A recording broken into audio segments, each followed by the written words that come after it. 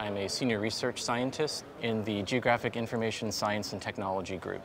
And we are embedded within the larger computing organization at the laboratory, which provides us some very unique opportunities to explore geospatial problems at a very big, actually global scale.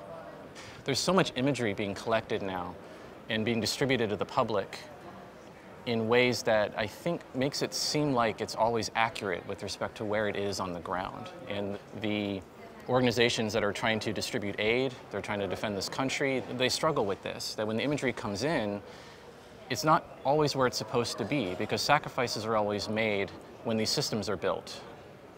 Oftentimes what you have to do after the fact is figure out how to fix that problem. How do we employ a wide variety of computer vision, photogrammetric, and high-performance computing techniques to automatically take imagery, register it against other sources that we trust more, and make sure that it's in the right spot, what we call spatial registration. We are a very image-heavy world now, and we need automated solutions. And uh, the computational challenges are quite significant in doing this when we saw what the Tesla K80 was capable of and the cards that are coming after it, it gave us the opportunity to, to not take any shortcuts. And for us, the more GPUs we have, the better. We have built a framework that leverages multiple high-density hybrid CPU and GPU compute nodes. Uh, right now, we're dealing with 48 logical cores, four Tesla K80s per node, 12 nodes per system, and multiple systems distributed pretty widely from, uh, with respect to geography.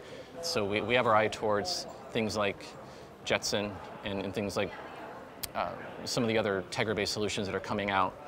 And so part of the computer vision and the machine learning aspects of this project is we have an image that comes in, it's got some content in it that we try to recognize interesting features in, and then we have to find those same features in some other source that we trust more.